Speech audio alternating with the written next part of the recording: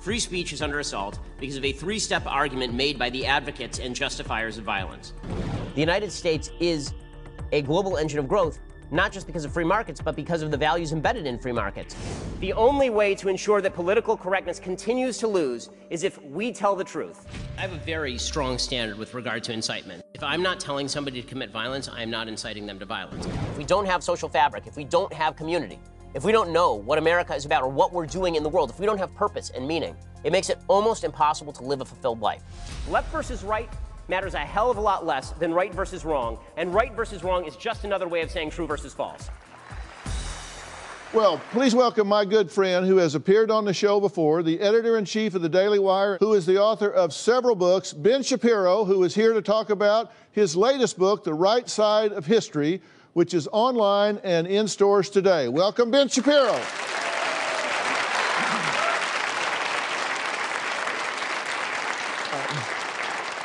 I always introduce you as controversial. I have to. you are controversial. Yeah, it's unfortunate, but that's the way well, it goes. I don't know. It makes people think. I hope so. That's, that's always the idea. Yeah. Well, you have written a new book, and I've read it. It is very well done. Congratulations on this. What motivated you to write this book?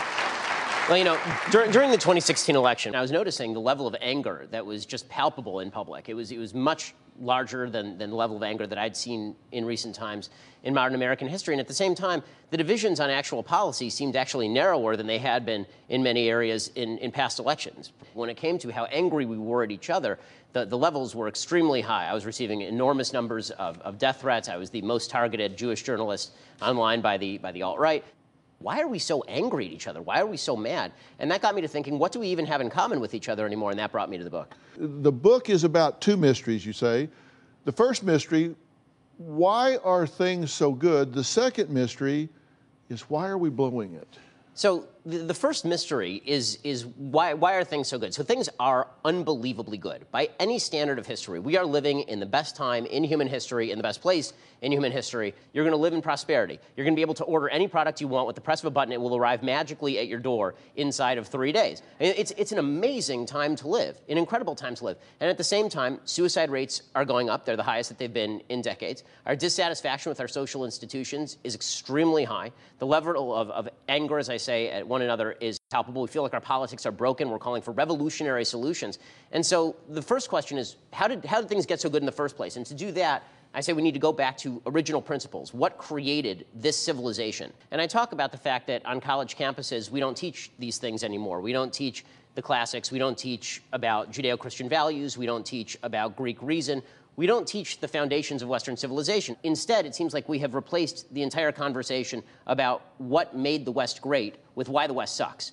And that's just not true. The West doesn't suck. The West is pretty unbelievable. And that is true by any standard. I mean, even take issues that are deeply controversial, like the issues of race. Racism in America, by any metric, is at an all time low. And yet we are treating each other as though race issues are the most pressing issues in America. Now, racial injustice and racial intolerance and racism itself, we should be calling it out wherever we see it. But to suggest that Western civilization is the repository or the creator of racism, that's just a failure to acknowledge realities on the ground. You- say racism is at an all time low, but you acknowledge if you're the target of it, if you're the one that's suffering it, for you it's 100%. You might be a part of a statistic where it's the lowest it's ever been, but if you're the one that's being excluded, you're the one that's being marginalized, you're the one that's being impacted by it, for you it's 100%. It doesn't matter where it is statistically. That, that is, of course, true. And as I've said, I was the number one target of online anti Semitism in 2016. That does not mean that America is an anti Semitic country. America is an overwhelmingly philo Semitic country that has been incredibly good to Jews. It works the other way, too, right? We can, we can recognize that our personal experience may not, in fact, be indicative of what American civilization is. And we have to separate those two things out because otherwise we end up creating false divides. I think every good hearted person in America wants to find individual instances of racism and then fight them. The question becomes do you see America as a repository of evil that needs to be torn down and then replaced with something else? Or do you see America as a country that has great principles that we have not always lived up to, but that we are trying to live up to better and better every day? Right. All right. Well, the book is The Right Side of History by Ben Shapiro.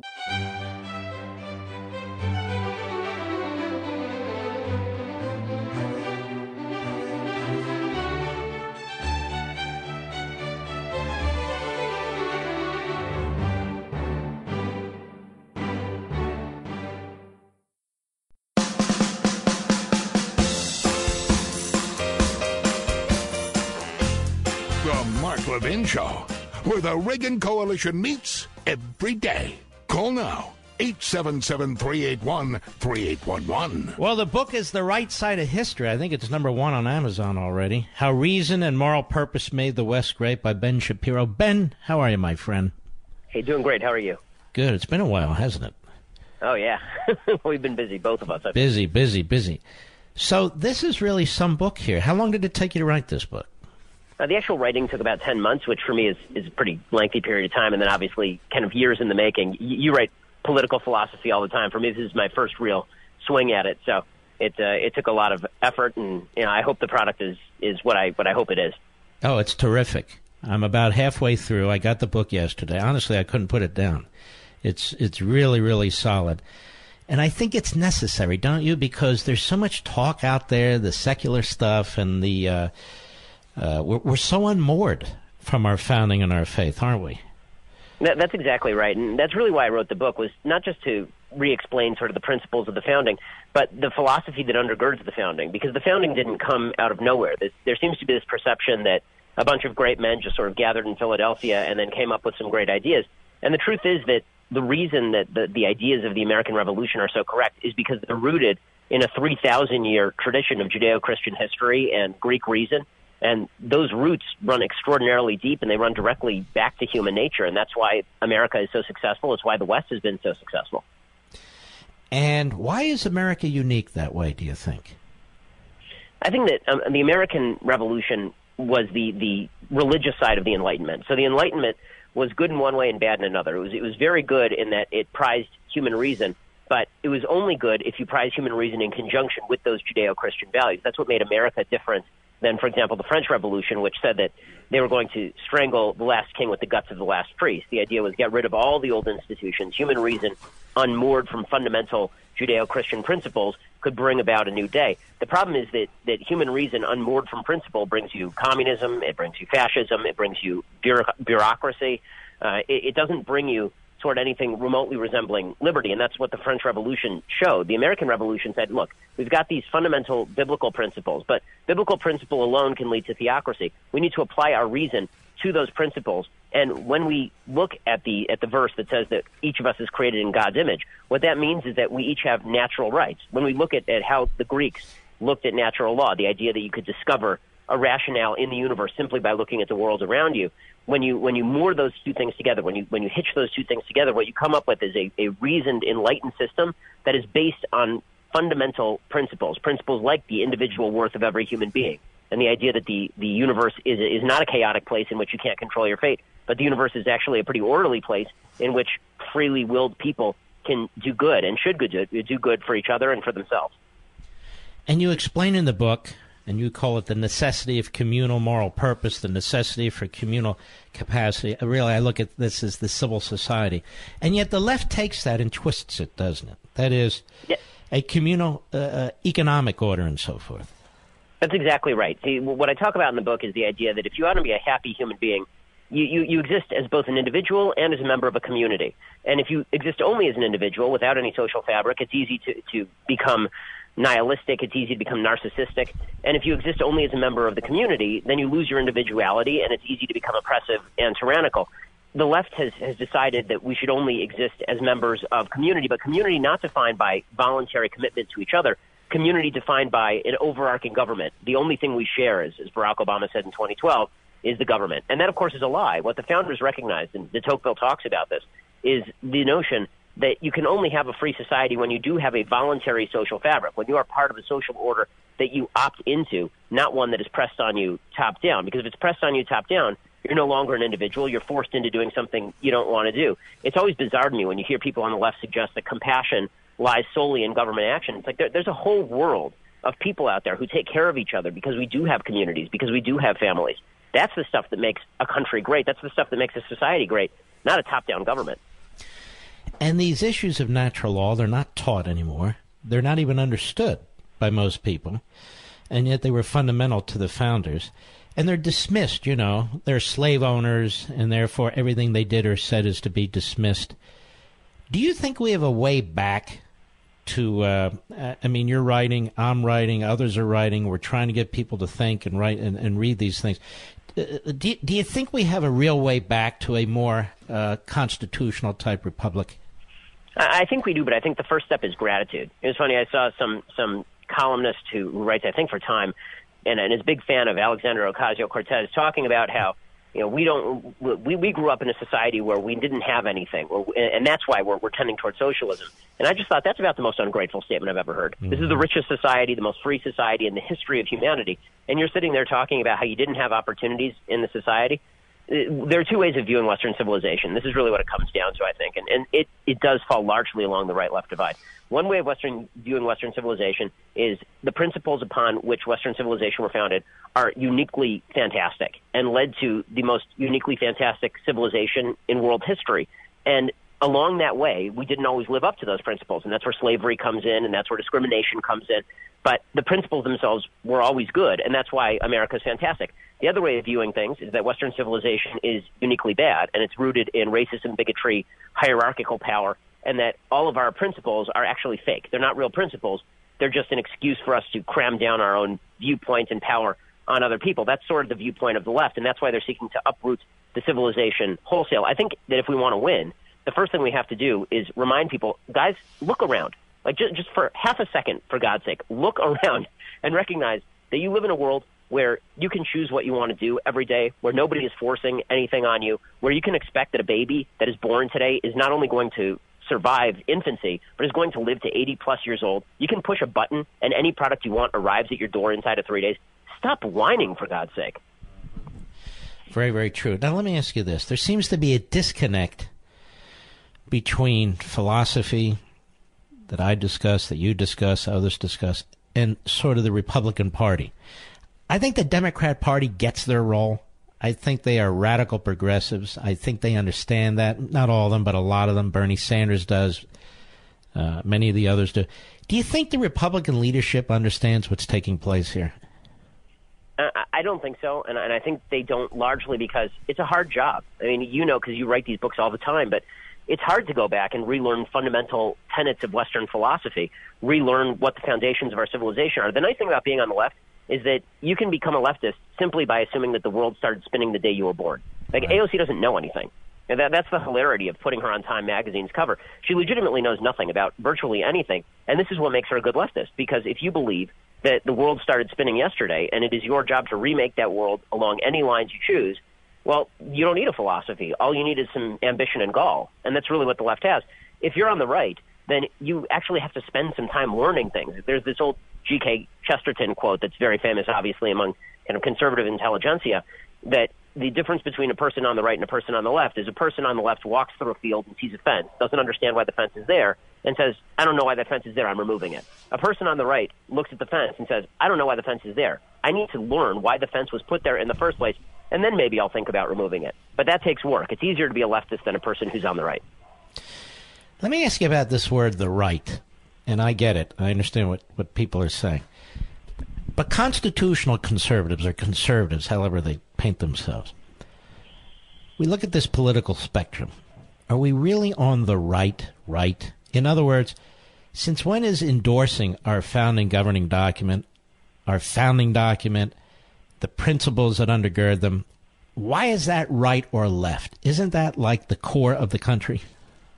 I mean, that's exactly correct. And the, the actual terms right and left obviously came from the, the French Revolution, and it was based on who was sitting where in the French Assembly. So it doesn't even make any sense to apply those terms really to the United States. It's why people are easily confused and confuse the European right with the American right. American conservative has almost nothing to do with the the European nationalist right.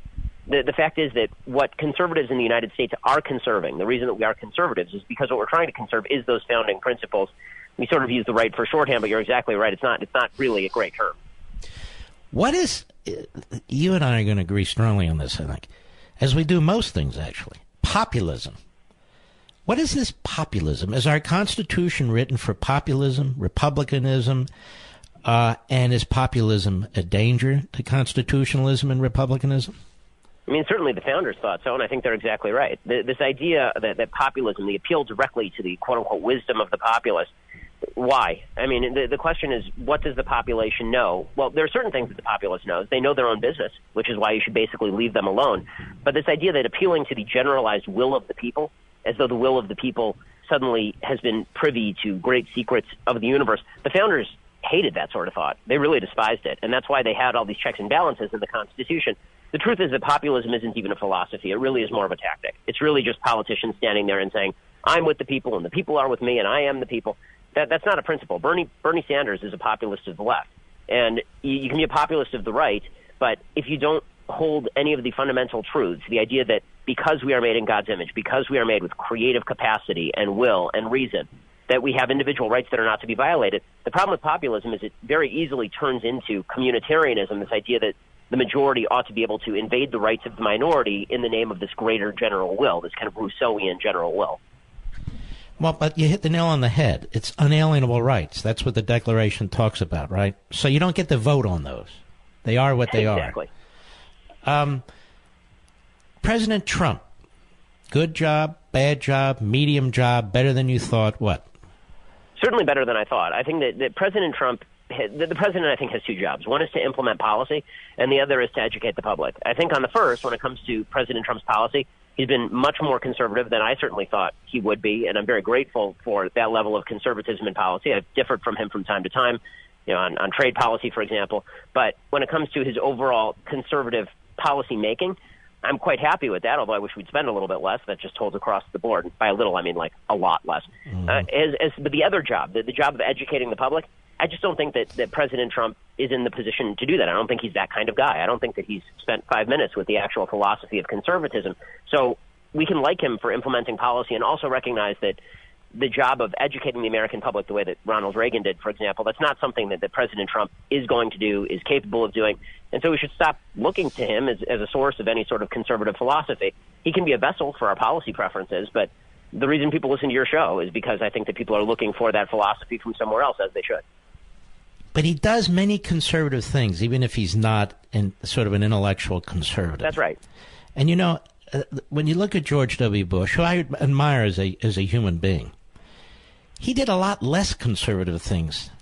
And I'm not sure he educated the people about conservatism. And I don't dislike him personally. That's just my as I look back on it. No, I think that's true. I, I, will say the one thing that, that George W. Bush did that, that Ronald that uh, Donald Trump doesn't is George W. Bush, by being a more genial person and probably by being just a generally nicer fellow, didn't alienate young people the way that President Trump has. But as far as the policy that he implements, because President Trump is audacious, because President Trump does sort of do what he wants to do and he doesn't care about the conventional wisdom, that means that he will sometimes run roughshod over the conventional wisdom, and oftentimes that's that's great because the conventional wisdom is kind of dumb. You hit something interesting there. You said he alienates young people. Let me ask you this question. When I was a young guy going to college and listening to these left wing professors, many of them were foul mouthed. Many of them said things that were really quite repulsive. I mean, personally repulsive, and would say, you know, whatever. And yet, uh, they have an enormous amount of influence on younger people. Why is that? Well, I think that, that professors typically have influence on younger people just because younger people are looking to rebel against their parents. So you, you go to college and I'm not that far removed. I'm but but, but hold on, that's my point about Trump. Why don't they look upon him and say, look, he's rebelling against people too? I think there is a cadre of younger people who feel that way, but I think that there's also a feeling that that he violates taboos, some of which he should violate and some of which he should not violate. Uh, and again, my, my big the, the real reason I think that he's very unpopular among young people. And this is just polling data. This is not me, you know, suggesting something that that is not backed by evidence the polls show he's not popular among young people. He's very unpopular, and I think the reason is because for older people, they look at the the American political system and they say, "Listen, I'm going to vote for the person who best ref- represents my policy preferences. I don't care what you think of me for voting for Trump, so make fun of me for voting for Trump. Whatever. I'm 65. You know, go to hell. who cares? for people who are 20, I, I think that because they care a lot about what their peers think, they're sort of trying to define themselves in the eyes of their peers. President Trump says things that are quite alienating. Oftentimes, he says things that are not just politically incorrect, but oftentimes just kind of nasty. And so young people feel the necessity to distance themselves from him, which is why it's interesting. You know, the, the best tactic that I've seen in terms of attracting young people to voting for President Trump in 2020, for example, is acknowledging that President Trump is a deeply flawed human being who says a lot of terrible things. And also, you should vote for him because, hell, who else are you going to vote for? Bernie Sanders? Uh, that, that seems to me a better tactic. I think that young people don't want to be told that President Trump is a man of high character. Older people don't care very much, but it, but it does matter to younger people. I, I look I look forward to you reading my next book, which will be out in a few months, uh, where we talk about deeply flawed people, particularly past presidents, and how Trump compares to them. Seriously. Uh, but I want to tell you something. You've written a terrific book here. Kudos to you and I, I really want everybody to get it. It's The Right Side of History by our friend Ben Shapiro. You can go to Amazon.com, any major bookstore, probably any minor bookstore, and you ought to get a copy. Go ahead, Mr. Producer, link that up over to Amazon.com so we can help keep it at number one. Ben, God bless you, my friend. Well done. You too. I really appreciate it, Mark. Be well. All right, take care of yourself. We'll be right back. Mark Levin.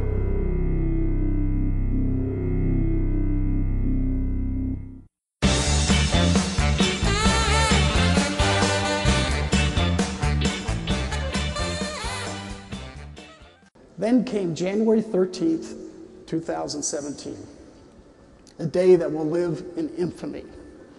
We were listening to the program. What does Ben mean he's signing off? My daughter said. What's that mean? She looked at me confused. We're screwed, is what it means, her brother said. Ben's leaving the show. The next week, after the depression had set in, our rides to the school were silent. No Broadway tunes on a CD, no alternative rock. They were having none of it. I thought it was the end of our morning education together. That is until the following week, my son tapped me on the shoulder from the back seat. Guess what, Dad? He said, I saw him hug his sister for the first time this century. then he held forth his phone. Ben Shapiro's got a podcast. well, boy, does he ever the top conservative podcast in the nation. Eight books and counting.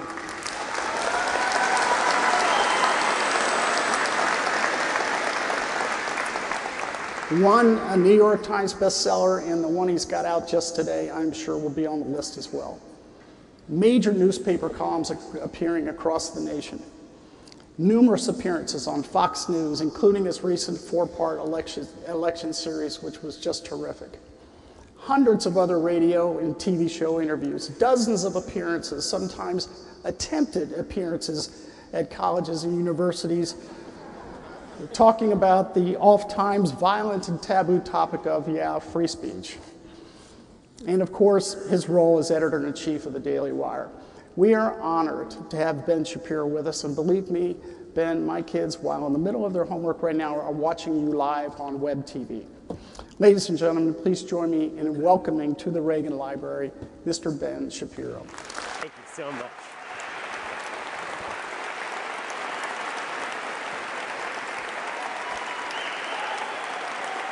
Thank you.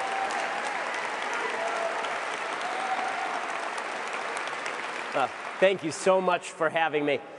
Thank you to the Reagan Library, which is obviously an unbelievably inspiring place to launch my new book and just an inspiring place to be generally the greatest president of my lifetime, although I was four years old when he left. It is amazing to be here. John was generous enough to be pushing for an event here for, for a long time, and it's fantastic to be at the home of Ronald Reagan, the president who reminded us that tyranny is no more than one generation away if we don't stand up for the truth and if we do not stand up for that which is righteous and, and free. I also want to thank my parents for showing up, as I say in the dedication to my new book. You know, my, my life is pretty, is pretty blessed. I, really do have an incredibly blessed life. Uh, it's particularly true in my family life. I go home, people say, What do you do for fun? And my answer is, I hang out with my family. Uh, and as I say in the dedication at the beginning of the book, uh, the, you know, my parents taught me that life has a reason. My wife, who is here and is a doctor, taught me that life has a meaning. And my children, who are currently being cared for by an unlucky soul, taught me that life has a purpose. Tonight, I get to talk about my new book, The Right Side of History. Now, obviously, I think that phrase can be used in extraordinarily pernicious ways. I've tweeted about this before. I think the President Obama, for example, used to say the right side of history. You'll be on the wrong side of history if you don't agree with President Obama. But of course, that's not how I mean the right side of history. What I mean is that we live in the greatest, freest, most prosperous country in the history of the world.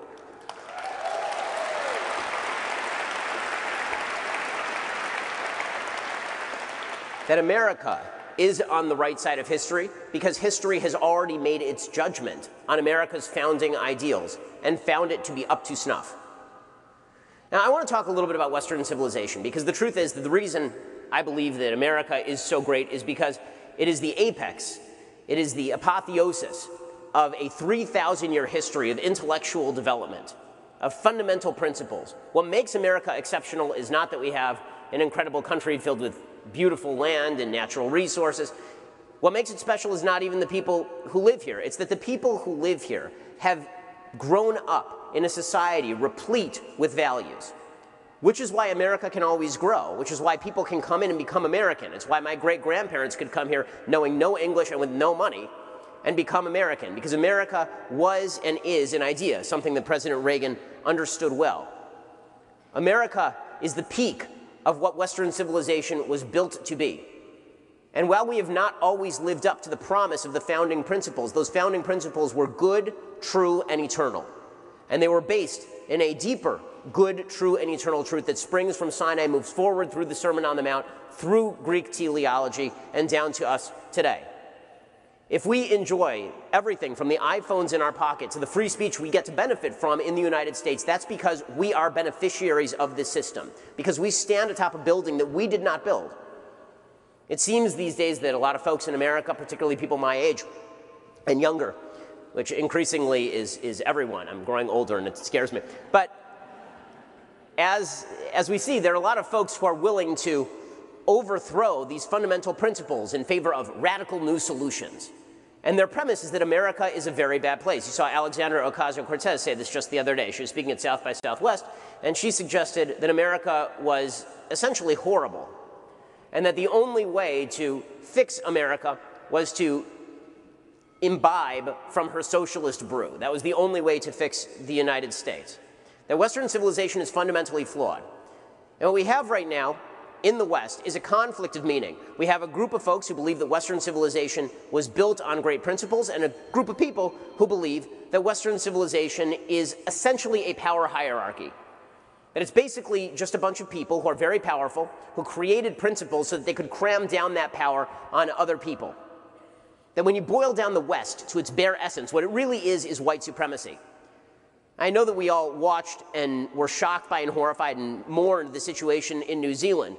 The evil white supremacist shooter in New Zealand wrote this manifesto, which I've encouraged no one to read because it's, a, it's garbage and we should not give it any more play than it already has been given in the media. But one of the things that the media have been pointing out is that this piece of human debris used the term the West a lot. In fact, there was an article in the Washington Post at the beginning of this year talking about how Western civilization really meant white supremacy. And this white supremacist believed the same thing. This white supremacist said that Western civilization was about the racial superiority of white folks. He suggested that the myth of the individual was something terrible. He talked about how much he hated the sovereignty of private property, how much he hated capitalism. He tore into conservatism as inherently bad because it hadn't conserved anything, namely the white majority. If you boil down Western civilization to the color of people's skin, you're doing it wrong. And yet you see the same thing from folks on the left, on the intersectional left. They suggest that when we say Western civilization, what we mean is white people. When we say Western civilization, we mean we want to reinforce power hierarchies that have ground people down under the boot of white people, of European people. That is not what Western civilization was about. If it were, I wouldn't be standing here wearing a yarmulke extolling its greatness. Western civilization is the system that brought us science. It is the system that brought us free markets. It is the system that brought us prosperity. It is the, it is the system that brought us liberalism. It is the system that brought us democracy. I mean, how dominant is the West? The West is so dominant that the evil tyranny of North Korea feels the necessity to call itself a republic. Because everyone understands that a republic is the proper form of government. That's how dominant Western civilization is. And on a material level, of course, Western civilization is absolutely phenomenal. The average person in 1850s Europe died before the age of 40. Now the average person in Western civilization dies upwards of the age of 80. Western civilization has raised 80% of people from extreme poverty on the planet since 1980. Western civilization has meant that in 1900, in America, one in 10 babies died before the age of one. Western civilization means that if a baby is born in the United States, you can expect that baby to live to the age of 80 or later. That's what Western civilization has done. And yet, living in the most prosperous society, in the freest society, the most equal society in the history of mankind, people are really, really angry. And you can see people are really angry. And so I got to thinking about why people are angry. That's where this book came from. Why are people so angry at each other given the fact that we've been given all these gifts and we stand atop the Empire State Building of Western civilization and we seem to believe that for some reason we're floating in midair? So, what exactly went wrong? Why aren't we happy? Well, I think that we have to look back to our foundations. If we want to truly understand Western civilization, we have to look all the way back. You know, this is the part where conservatism matters, because conservatism is about conserving. It's about going back and looking at those roots and understanding why the roots are there. Uh, Chesterton famously suggested that the difference between people on the left and people on the right is that if you were on the left and you were walking in a field and you came across a fence and you didn't know why the fence was there, if you were on the left, you would simply say, I don't know why this fence is here, and then you would remove the fence. And if you were on the right, if you were conservative, you would say, I don't know why the fence is here, but I'm going to learn why the fence is here, and then maybe we'll consider whether we can remove the fence. Before we throw Western civilization out, it seems like we might want to re examine the premises of Western civilization. Because Western civilization has created the greatest system for human happiness in human history.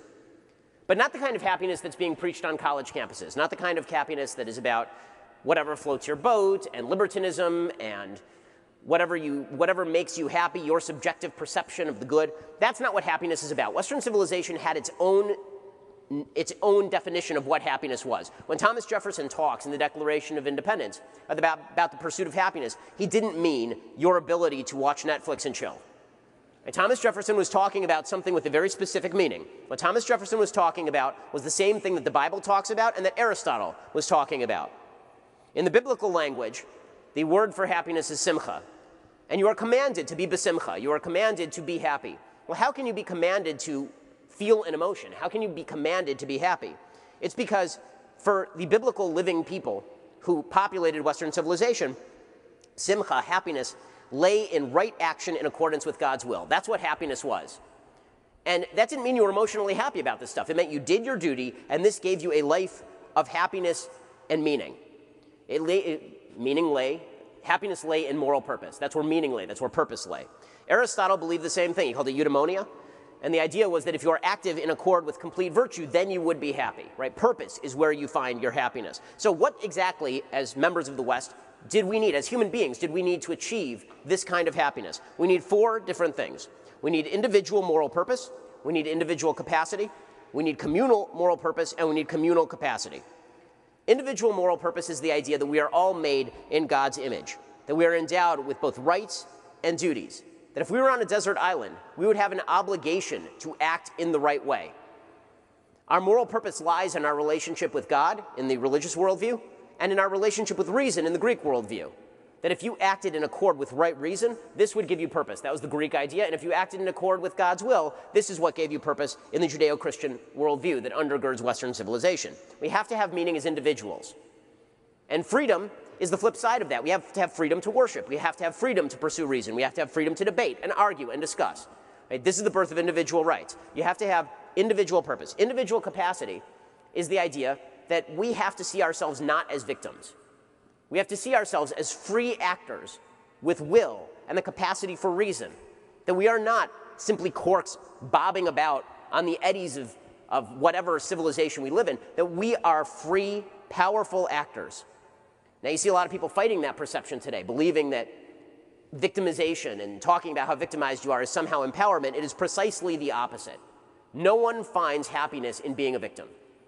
You actually have to believe in your own capacity to change the world. Viktor Frankl talks about the, the philosopher and psychologist who wrote Man's Search for Meaning, who lived through the death camps of, of Auschwitz. He talked about the Holocaust and he said this Every day, every hour offered the opportunity to make a decision. a decision which determined whether you would or would not submit to those powers which threatened to rob you of your very self, your inner freedom, which determined whether or not you would become the plaything of circumstance, renouncing freedom and dignity to become molded into the form of the typical inmate. In other words, you could even find meaning and purpose in a place like Auschwitz. How much more so should we be able to find meaning and purpose in the freest land in the history of humanity? We also need communal moral purpose. We have to believe that we as a community stand for something, fundamental principles. And that means we also need a social fabric. We need to believe that we are all brothers in a fight. Robert Putnam, who's a liberal sociologist from Harvard, he talked about diversity, and he was a big believer that diversity is our strength. What he found, and this is an almost direct quote from, from Putnam, is that as the diversity of a census tract goes up, only two things go up predictably TV watching and protest marches. Those are the only two things. But he said, diversity is a good thing if you have a common purpose. So when you go to a church, when you go to a synagogue, you look across the crowd and you see a bunch of people with diverse experiences and backgrounds and races, and they're all worshiping together. Then you have a rich, meaningful community. The same thing is true in the military. When you talk to folks who have served in the military, and thank you to everyone who has made a sacrifice that I never did to defend a civilization worth protecting.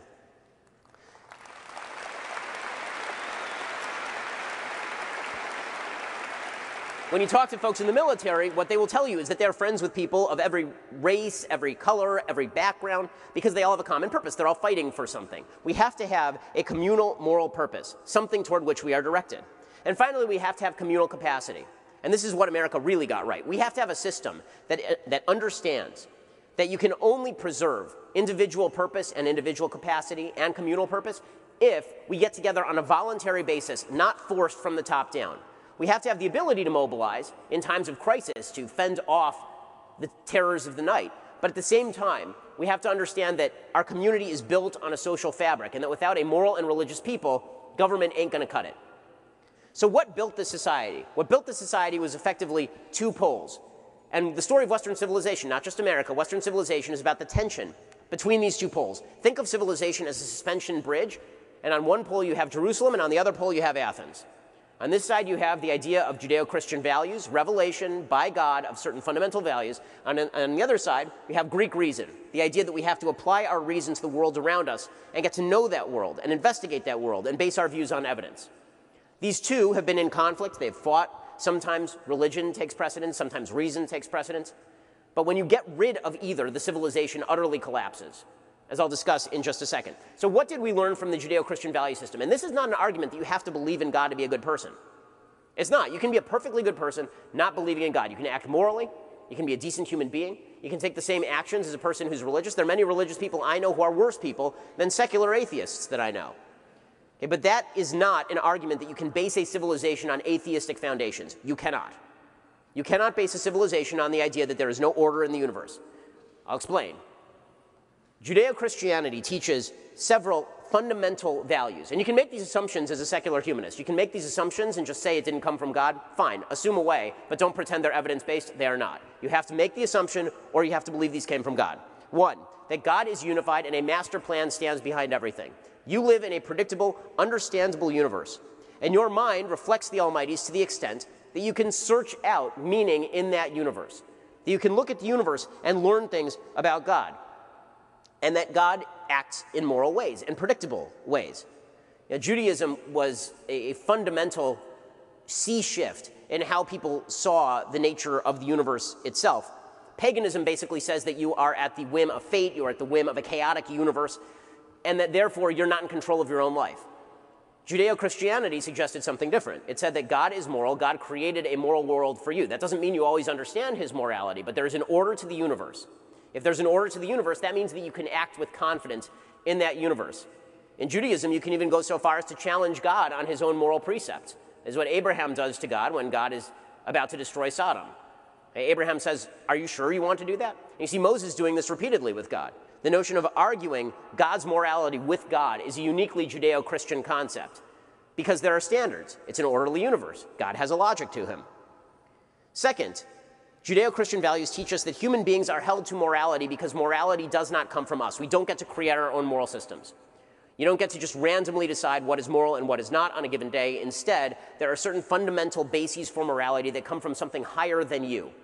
And therefore, morality is not just a matter of pragmatism. It's not just a matter of the strong eating the weak. It is not just a matter of doing whatever is in your interest today.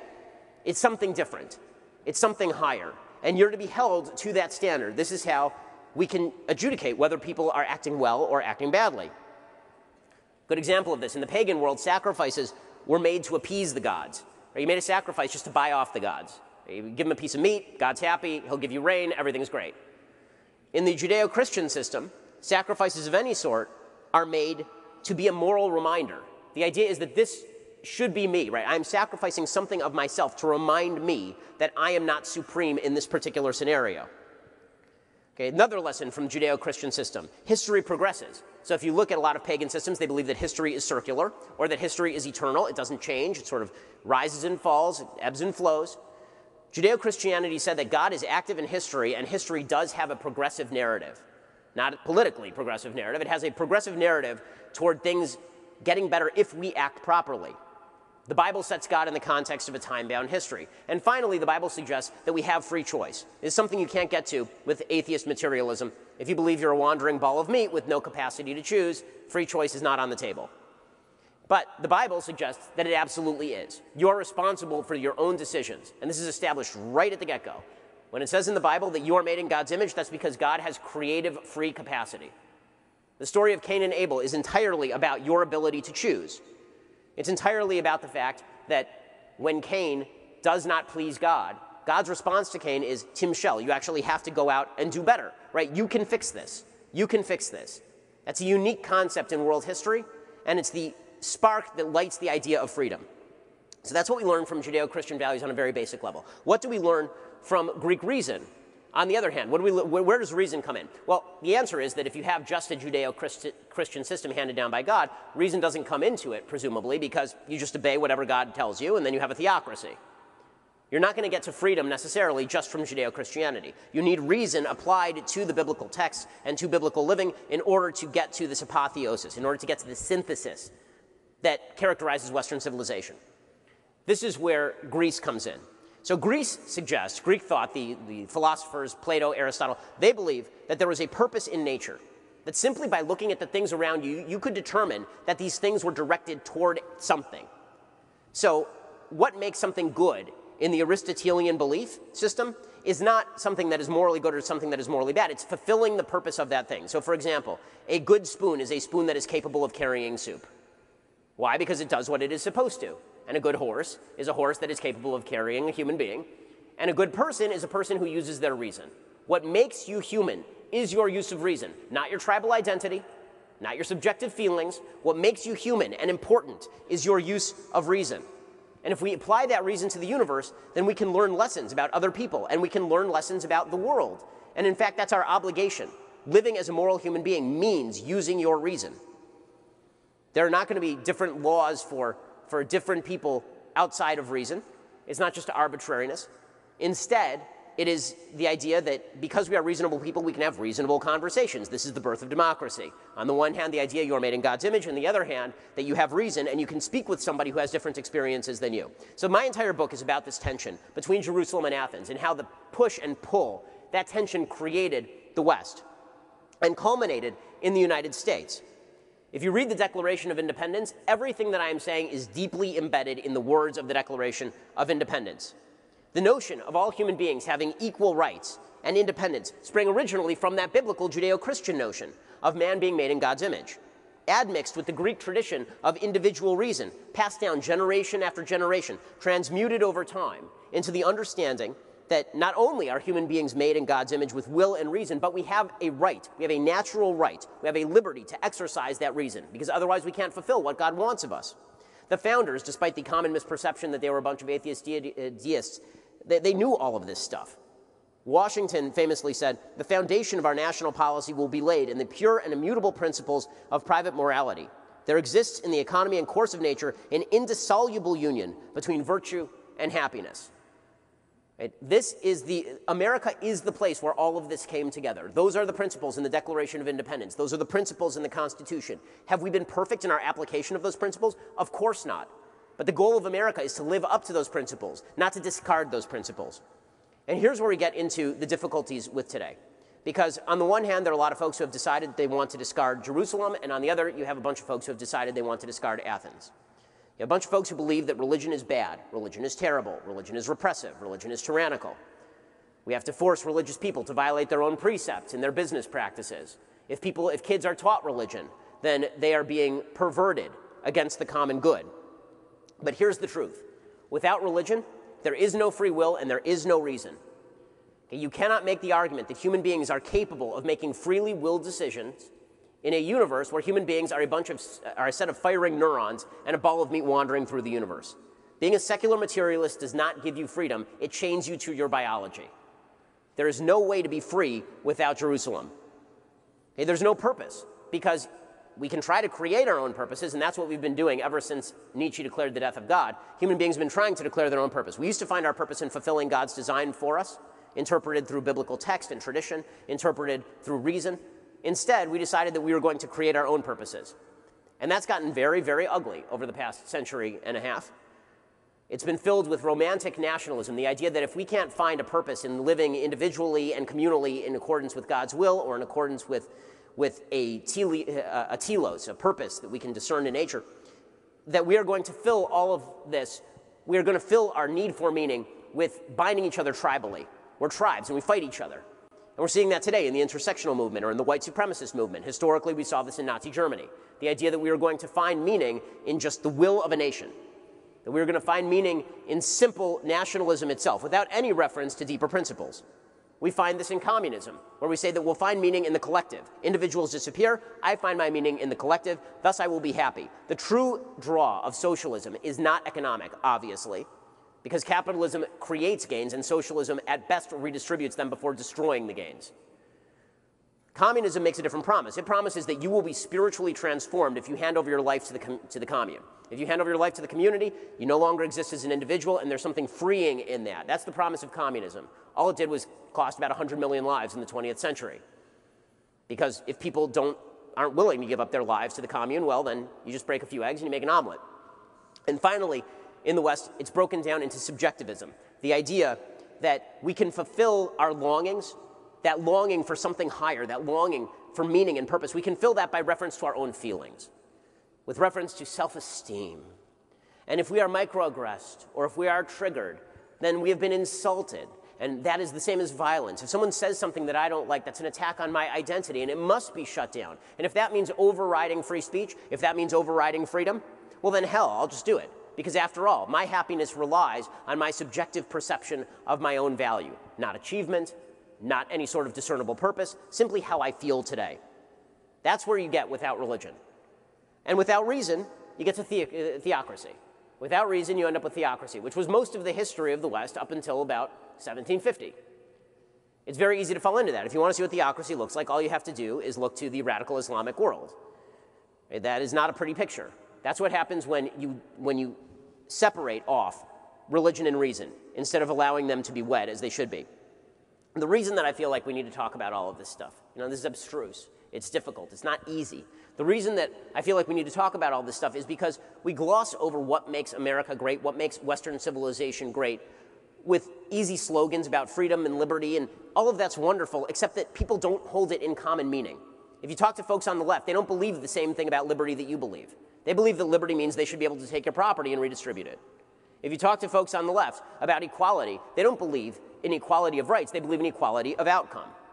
If you talk to folks on the left about civilization being great because of our prosperity, the first thing they do is say, well, we are unequal in outcome and thus our prosperity is no good. It would be better if we were impoverished but equal.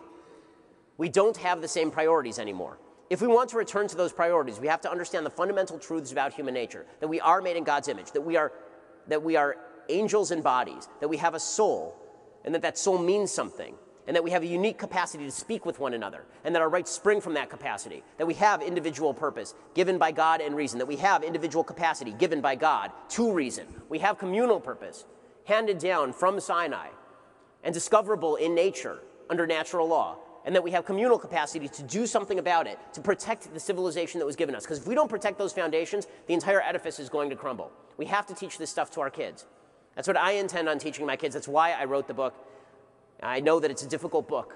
and I'm, I'm really gratified that so many people bought it. I know it's the number one political and history book on planet Earth as of the moment.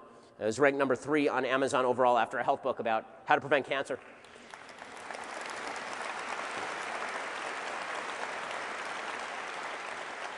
Let's re engage with the ideas that animated our civilization in the first place. If we do, we will save that civilization and preserve it for the future.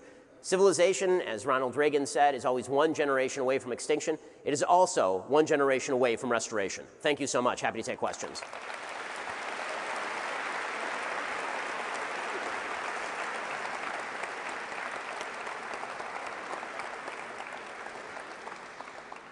Uh, it's a big room, so uh, we have staff in the aisles with microphones. If you have a question, you might raise your hand, and we'd be happy to uh, have you. We'll start right here. Just uh, because you were banned from Berkeley and Mm-hmm. other colleges, is, do you see any way that we can recapture the education system? Because it is so ingrained by the left. I mean, I, I despair, obviously, of large swaths of the education system. I'm proud to be associated personally with Hillsdale College. They sponsor my program, but I'm a big Hillsdale fan. Have been for a long time. I know Liberty University also does some great work. There are some, some really good colleges out there that are still trying to teach fundamental values, but here's my belief. My belief is that values are generally not inculcated by the school, they're inculcated by the parents, and then the parents pick the school. Uh, and so, what that means is not that we should give up on the public education system. It means that we should seek to take back the public education system, but the education starts in the home, obviously. I mean, on, pra- on a practical policy level, it means breaking the teachers' unions, frankly. Uh, the public teachers' unions are a, a massive detriment to kids all over the country. I'm talking about starting at a very young age. If you want to inculcate civilization, civilization doesn't just arrive in, in your mother's milk, right? I mean, it actually is something that has to be taught and felt and experienced. You know, the social capital that comes with civilization comes from the time you're a young kid. That's why people are friends with people with whom they were children very often. Uh, so, you know, I, I worry about the college campuses too, but I think that the college campuses are the final uh, they, they're the repository of a lot of bad ideas and the, and, the, and the wellspring of a lot of terrible, terrible ideas. But if we actually want to take back the next generation, we're going to have to start not at the college level. We're going to have to start at the elementary school level. We're going to have to go back to church. We're going to have to go back to synagogue. We're going to have to work with each other on restoring some semblance of values.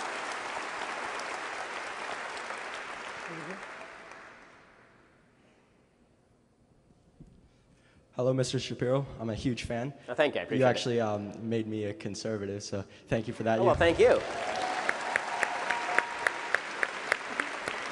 so I guess with that being said, the one question I have for you is, when could we expect you to run for the presidency? Uh, well, not this time. That's all I'll say on the matter. Uh, right over here. Thank you, Ben, for sharing your time and your brilliance with us. We re- very much appreciate it. Um, I had a curious question about you talking about the Greeks, and I'm a big fan of the classics. And it brings me to the question Is there a strategic inoculation of the classics, perhaps in our education system, where I'm curious to know what your take is with the just complete you don't see the study of the classics and the Greeks and um, all Yeah. the, Hel- the, Hellen- the Hellenic period uh, in world history. So I'd like to take your take. I mean, I think that's certainly true. It's, it's sort of it's sort of subsumed into broader world history courses that you see. It's not taught as something special. It used to be that Western civilization courses were essentially required at most major universities. That is no longer the case.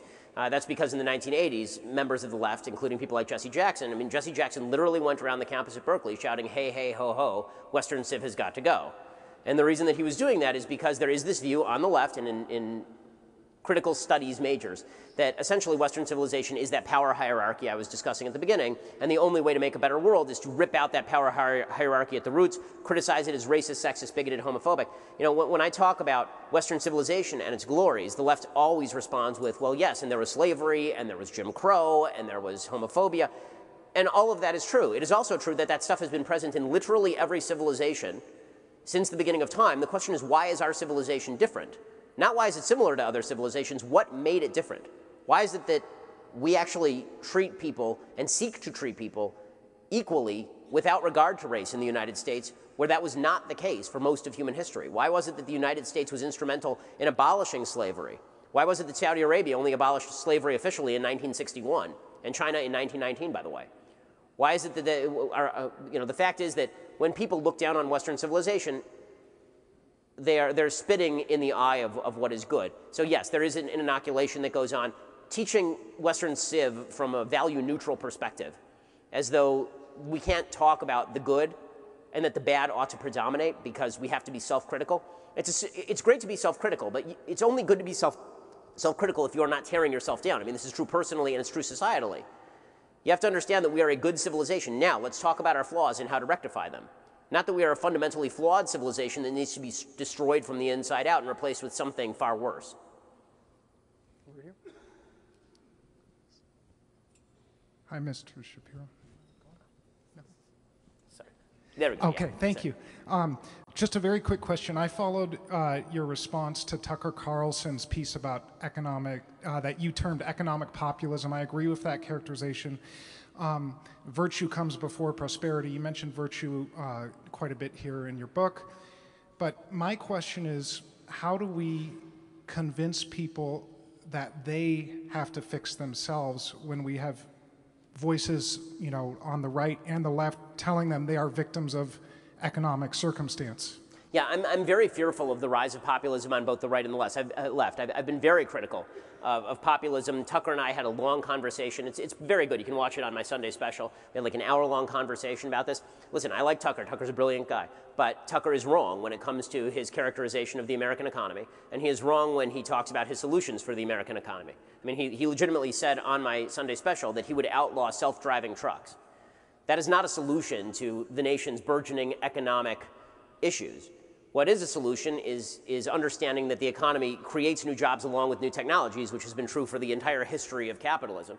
Maybe that'll change. If that changes, then we'll have to deal with it. I don't think that we're even close to there yet, considering we're at 3.8% unemployment in this country with 7 million unfilled jobs at this point. As far as the, the notion that you have to inculcate virtue, the reality is that the only people who can decide to change themselves are people, right? I mean, people, people can only decide to change themselves. You can't force somebody to change themselves. You can't force people to engage with virtue. All you can say to them is, your life is going to be miserable if you spend all your time in the freest country in world history discussing why you're a victim. You actually want to change your life? How about you go out and change your life?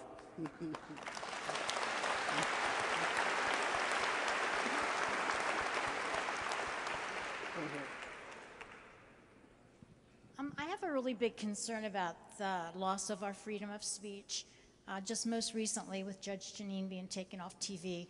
But it just seems like it's happening to the conservatives, that we are the ones that are losing our uh, freedom of speech. And so I'm wondering uh, if you feel that there's a way that we can um, combat that as, as conservatives? Mm-hmm. So, I mean, let me just preface this with a, with a statement for Media Matters out there. I didn't like Judge Jeanine's commentary on Ilhan Omar's hijab.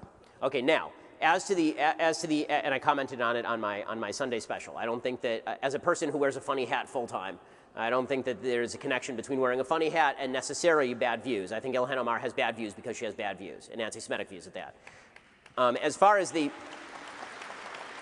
as far as the generalized question as to free speech, this is one of the worst aspects of modern American politics, is what's happening where people dig up something that somebody said 10 years ago, and then they hit Tucker Carlson with something he said on Bubba the Love Sponge in 2007, and then we all pretend that we're saving the world because we've uncovered audio of, of Tucker making raunchy jokes on a stupid shock jock morning show a dozen years ago.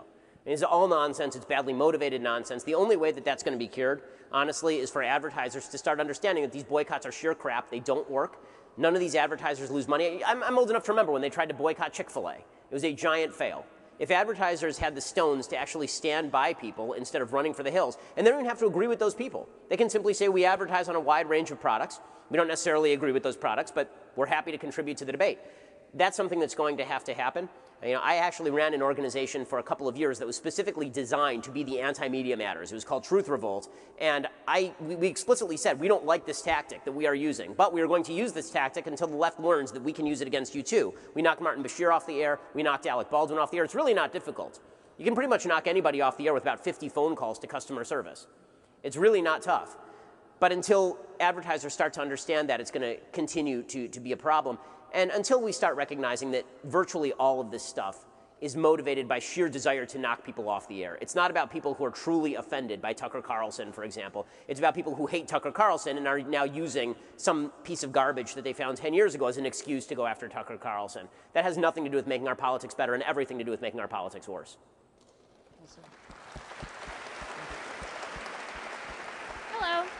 Um, so, as a young person that lives in Los Angeles, I don't honestly know how you've done it for so long, but without moving and without like outside of church, synagogue, what have you, how would you recommend finding young conservative men? I mean, it's a real question. It's a concern. We'll have to start. We'll have to start Rinder, Reagan, Tinder. Uh, you know, or, or, you know, have to. There has to be a conservative dating service. I mean, the, the reality is that I believe that, that most conservatives probably are still meeting each other through church or through family. I met my beautiful wife through my sister, uh, and uh, that's because they met at a Jewish event at, at UCLA. Uh, I, I still do believe that if you want to spend your life with someone who shares your values, then church is probably the place to start. That doesn't mean that, and if you can't find somebody in, in the church you're going to, maybe you should try another church. Uh, it's, I, I, say this about dating very often. The only purpose of dating is for marriage. Uh, I know this is an unpopular view in, in modern life, but, um, and I know that you don't disagree with that. So, what was that? Host singles night. Yeah, Shapiro singles night would definitely be awkward. It would be very intense. It'd be like speed dating. Give me all the facts about you now. No feelings, only facts.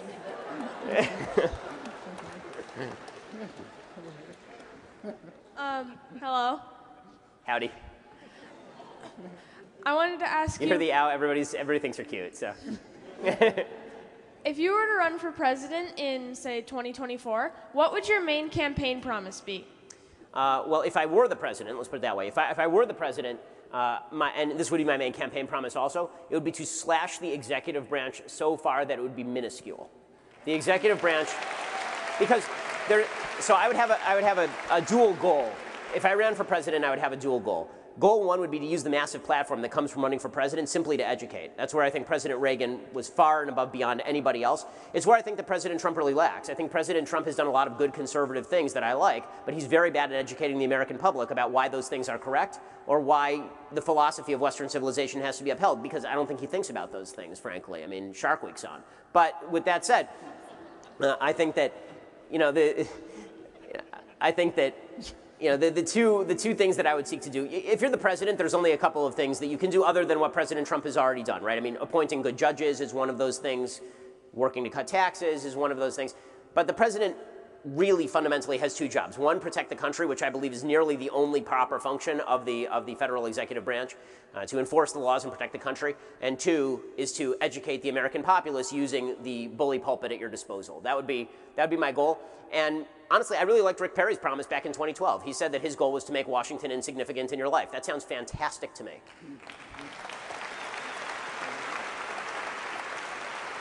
Um, hi, Ben. Uh, thank you so much for holding this event for us. Um, I am an elementary school teacher, and uh, I've seen what's been happening over the years. And as having a son in the military, it's a little disheartening to me that a lot of public school teachers don't even say the Pledge of Allegiance anymore in the morning. Um, and in public school, we've always put up the current president in our classroom. What would you have me say to someone? Because I have President Trump up in my classroom, and I am in a um, school that has a, a populace of minorities, that a lot of people will say to me, How can you put that poster up? It's, it's disrespectful of our students, and it might be insulting to them. I mean, I think the first thing that you would say is you're putting it up because President Trump is the occupant of the Oval Office. That doesn't mean an endorsement of, of him or anything he says any more than it would mean an endorsement of Obama. If you want to defend Trump, that's a different thing. But the reality is that putting up a picture of the President of the United States, as you have historically done, what would change that is saying that Trump somehow is not the President or something.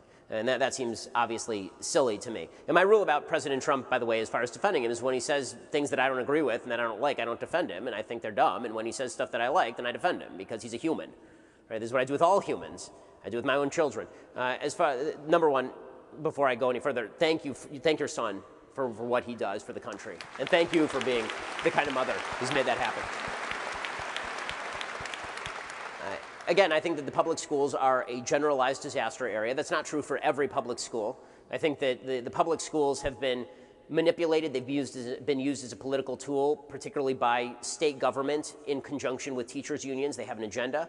That agenda has a, a, a monetary component to it. Uh, folks have called it the civil rights question of our time, and I think that that's absolutely true. Being able to choose which public school your kid goes to, being able to control locally what sort of material your kids are learning, and being able to interact with the best teachers and making sure the best teachers are in the toughest jobs. Honestly, that we pay teachers what they should be paid based on their performance and based on the difficulty of their job. That seems to me a much better solution than what the left has decided, which is that we will grant seniority privileges so that you go to an easier job for more pay over the course of your career. It's idiotic.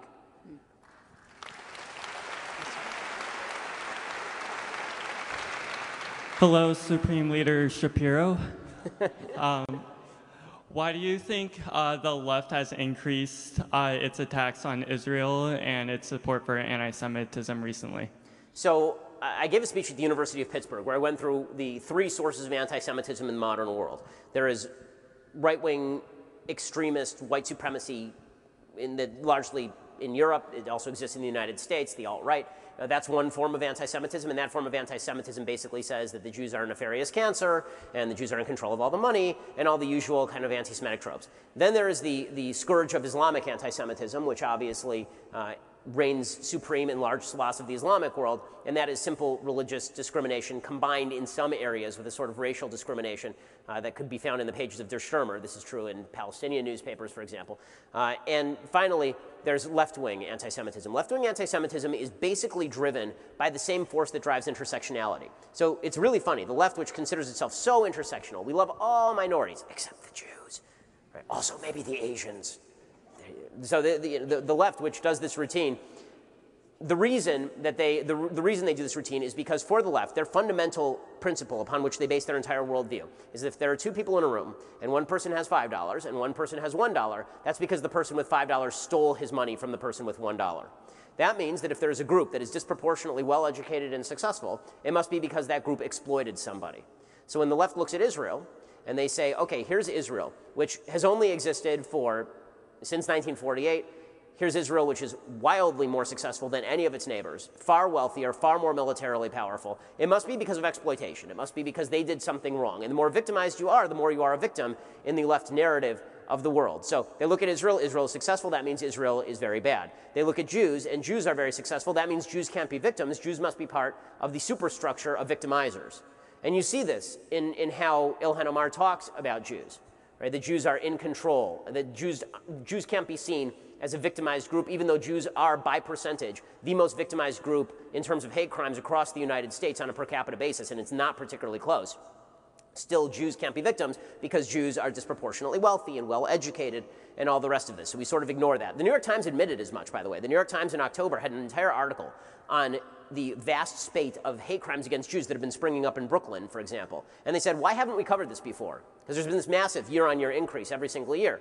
And they say in the article, I mean, it was a stunning admission. They say in the article, we didn't cover this because it doesn't match our narrative. It doesn't match our narrative. Our narrative is that the only real anti Semitism is from a higher ranking intersectional group, meaning anti Semitism can be from white supremacists to Jews, but it can never be from black folks to Jews, or from Hispanic folks to Jews, or from Muslims to Jews, because that violates the intersectional pyramid. Well, it's my view that anti Semitism from any corner is absolutely wrong, but intersectionality is, in and of itself, a deeply evil philosophy. The basis of intersectionality which is that we actually that, that people have variant experiences because of their membership in groups. There's some truth to that, but once you start ranking groups and their viewpoints based on their, their perceived victimization instead of looking at them as individual people, then you are falling into exactly the sort of tribalism that destroys civilizations.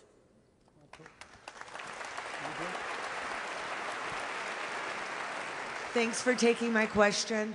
Um, I'm really concerned about propaganda in this country. It seems that 90% of our media now, uh, yeah, there's freedom of speech, but there's also lies by omission. Um, and, and I understand when President Trump does say fake news is the enemy of the people, not the reporters, but not telling the entire truth. Um, my family's been broken up over this um, because they're brainwashed. They hear the same words over and over again con man, racist, this and that, and even us as supporters of the president are called racist. At what point can the media be held accountable for what they're doing because it's wrong? I mean, the media should be held accountable for failing to do their jobs and doing what they think their real jobs are, which is their opinion journalists, the same way that I am. Know, you know, I want to be fair here. My quibble with President Trump's talk about fake news is if President Trump restricted his talk about fake news to stuff that was actually fake, when, when the media tell a lie about him, when they make up a story, or when the media simply shade a narrative to achieve a particular end. If you said that stuff is fake news, I would totally agree with him. My problem with President Trump is that fake news to President Trump sometimes means stuff I don't like. And so be like, oh, there's a story about my inauguration crowd size. That's fake news. Fake news. And it's like, well, no, it really wasn't so much. So if he could restrict his criticism of the media to areas where it's appropriate, then I would be on his side completely. Uh, I'm extraordinarily critical of the media. I mean, I'm the guy who went on CNN in 2014 and said if, if Hamas could create a news network, it would look kind of like you guys. right? So I'm, I'm, I'm exorbitantly critical of the media. The media commit two types of sin. Right? They, they commit sins by commission and sins by omission. So sins by commission are things like the Parkland shooting 15 minutes hate that was just given an award today by USC. The Walter Cronkite Award was given to CNN for that awful Parkland town hall where they brought Marco Rubio on stage and had people badger him and scream at him and had people scream at Dana Loesch. They got an award for that. I mean, that's, that's a sin by commission. It's obvious that was a political agenda. And the award specifically said and thanked CNN for forwarding the debate, which is not their job, right? They were supposed to be into news coverage. So that's a sin by commission. Then there are sins by omission where they just don't cover the good economic news, or as I say, they don't cover hate crimes in New York City, but they're going to cover Tree of Life you know, the, the fact is that the media have enormous power. Now, the good news is that the diffusion of sources from which people see things has allowed us to see truths that we wouldn't otherwise have seen, right? I have a website, The Daily Wire, and Daily Wire gets 140 million page views a month. That's a very large number, right? My podcast is listened to, and well, it's downloaded a million times a day. If you put that in radio statistics, it's bigger than any radio show in the United States. I mean, it's, it's we have means of distribution. That's why I think a lot of us are fearful that those means of distribution will eventually be shut down via Twitter, via Facebook, um, and, and that's dangerous. We're going to have to build alternative methods of distribution. Is this going to be more polarizing? Yeah, of course it's going to be more polarizing because the fact is that in an environment where we all get our news from different sources, you're not going to be able even to agree on a simple set of facts with people in your own family. If you read Huffington Post and then you read Breitbart, it is two completely separate narratives. And this predates President Trump. This is not unique to President Trump. This has been going on for legitimately years. I remember before the 2012 election, my mom turned to me and she said, Is Romney going to win? Because I read Breitbart and I keep saying he's going to win. And then I read Huffington Post, where I look at their front page and they say that he's going to lose. And I have no idea which is true. And I said, Well, nobody knows which one is true.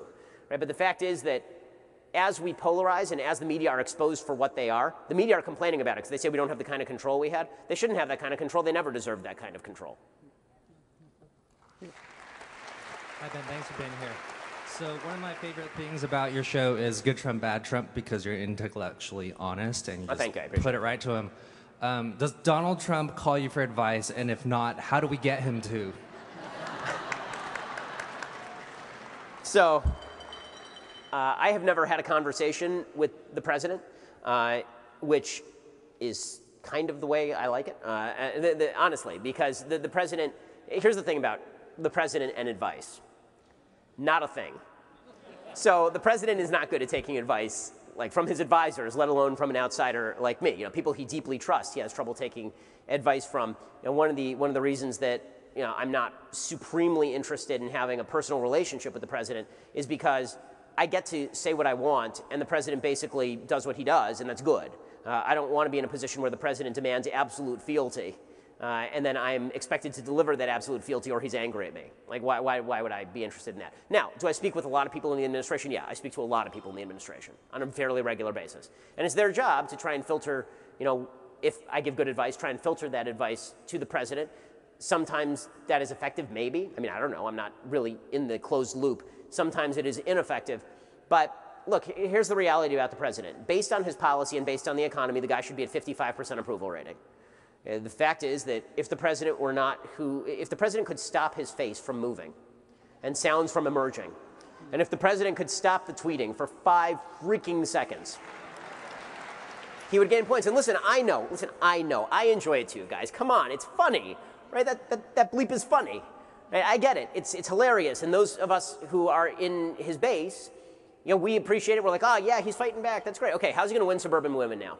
Like, really? This is my first question that I asked to everybody in the administration. Between 2000 and 2004, George W. Bush lost the popular vote in 2000. Then he won 11 million additional votes by 2004. President Trump lost the popular vote by 2.5 million votes to Hillary Clinton. He won in the narrowest election of all time by 80,000 votes in three states. Where's he going to come up with an additional 14 million votes? It's not by tweeting. That's not where he's going to come up with the additional 14 million votes. He's going to have to convince some people that he is not only a, a good policy guy, but also worthy occupants of the Oval Office, and maybe silence is the best solution to that. Now, maybe the Democrats do him a favor and nominate somebody crazy. I would say odds are that that's pretty good, right? I mean, they, look at that field. I mean, the most reasonable person is Beto, then I don't know what to say about that field. Now, when you're taking seriously the geriatric socialist who legitimately was thrown off a commune in the 1970s for being too useless, and that guy is your thought leader, then, yeah, I, then I get. Let's just say this: for whatever reason, God loves Trump, right? I mean, there's no question. He's the luckiest man in the history of the world. Whether that luck runs out in 2020, he, let's put it this way: he can make his odds better if he would stop with with sort of the inane m- media generating hits. And go, look at people don't believe me. Look at 2018. In the 2018 election, during the Kavanaugh hearings, Democrats lost their entire lead in every poll. And then President Trump decided he wanted to be the center of attention, and Republicans got blown out across the country. 8.6% was the final margin of victory in the House popular vote. And that's not great, and we don't want to see that replicated. So, Mr. President, keep doing good things. Go watch Shark Week. We've got time for just uh, two more quick questions. We'll go here and then here. Okay. Hi, Mr. Shapiro. Um, I'm a really big fan. I've actually been trying to get an internship with you, so maybe like we can work that out. Um, but my question is, you know, I'm a high school student, and so for my generation, I was wondering, what are you thinking America's going to look like in about 20 years? You know, uh, what is America going to look like in 20 years? I mean, I think this is kind of a cop out, but a lot depends on obviously what we do now and what we educate kids into now. Uh, and that means that the reason I really, one of the reasons I wrote the book is because if I want young people to engage with conservative ideas, they need to engage with conservative ideas. They need to engage in the battle of ideas. They need to understand where we're coming from. Too much of politics is done at surface level. Too much of politics is done at the tip of the iceberg where we fight over whatever Trump tweeted today. And that's not convincing young people. You know, look, I didn't vote for President Trump in 2016. I didn't vote for Hillary Clinton either. I'm more likely to vote for President Trump in 2020. But one of my chief concerns with President Trump in 2016 is that he was going to poison young people toward conservatism and toward the Republican Party. And if you look at polls, that has not been an idle concern. I mean, I just want to be absolutely factual about this. The polls are not good for President Trump among people who are under the age of 40. And those people are not shifting the way that the sort of conventional wisdom says that they should, that over time they become more conservative. The statistics are not showing that, which means that we have a lot of work to do if we want to teach people about conservative principles. If that doesn't happen, then we are going to see a continued movement in favor of bigger government, in favor of AOC type radicalism. We're going to see more of the let's embrace big government programs, more of the attempts to shut down free speech in the name of preventing hate speech. It could get very ugly over the next 20 years. I think that the state is going to be a good bellwether for how bad things can be. I mean, frankly, listen, I've lived in California my entire life. I am scared where this state is going. As a religious American, I am deeply afraid that this state is going to immediately start cracking down on churches and synagogues on the basis of supposed anti discrimination, and then they will come after me and they'll come after my kids. So, is that the direction that the country can move? Absolutely, but it doesn't have to move that way. But again, that means that we have to actively make the case for why our principles are good. And if people want to talk about Trump, honestly, I think that I've said this all along. One of the things I think that has made my show popular and that makes my writing popular and my speaking is I don't tend to talk about President Trump very much. I don't think that whoever occupies the Oval Office is deeply important other than the ideas they espouse. The battle of ideas is where this thing is going to be won or lost over the next 20 years. And if we don't win it, it will be lost, and there's nobody else left to back us up. Last question over. So, All right, so this is kind of two questions, I guess. So the first question is, as much as it's joked about, why don't you run for president? You know, you, you have the support, and I would argue that you're definitely smarter than most politicians out there. Well, that's not a high compliment, but thank you. and then also, um, when can we expect the next meme review? Well, for folks who are above the age of 30, Meme review is a thing that there's this guy on, P- on YouTube. He's the most followed YouTuber. Uh, his name is PewDiePie. And uh, PewDiePie apparently watches some of my videos and he asked me to do something called meme review. And so we did a uh, so we did one of his YouTube videos and it is popular with the younger set. So that's what that is for folks who just have no idea what the hell is being talked about. Um, as, as far as running for president, honestly, the real the real consideration is um, there, there, are a few different considerations. One, my wife is in the room, so I can't say yes, uh, or she will murder me. Like legitimately, I will not make it home. My wife desperately does not want me to run for office, and I can't blame her because legitimately being in the public eye is deeply uncomfortable. Like, I, uh, listen, I'm, de- I'm flattered. I love the fact that people take seriously ideas that I think matter. That's why I do what I do every day. But being campaigning sounds terrible. Being away from my kids sounds terrible. Right? All this stuff sounds terrible. It's a tremendous sacrifice. Honestly, I know a lot of politicians, and as much as I make fun of them, they are making a big sacrifice when they spend all of their time on the road campaigning and away from their families. That's a difficult lifestyle for sure. Um, also, the question is could I do more good in public office than I'm doing right now, speaking to legitimately millions of people. And I have an enormous audience, thank God, uh, and I get to educate them without having to worry about pandering politically to anybody. Uh, if, if I did end up running for office, it might more be as an object lesson in what it looks like to be honest while running for office than an exercise in actual victory. Because the truth is that people who tend to win have to shade messages and they don't get to tell the truth all the time and they have to win over certain people. Uh, and you know, I, I would see how far you could push that, but I'd have to be convinced that one of a couple of things were true. One, either the benefit of running outweighs the outweighs the downside of not being able to do what I do, or two, that the situation were so grim and I didn't see any other prospects on the horizon that I would legitimately be almost forced into it. That's, that's the only reason I would ever run for public office. Thank you so much. I really appreciate it. Thank you all for coming. Thank you. It means the world to me. Thank you. Thank you.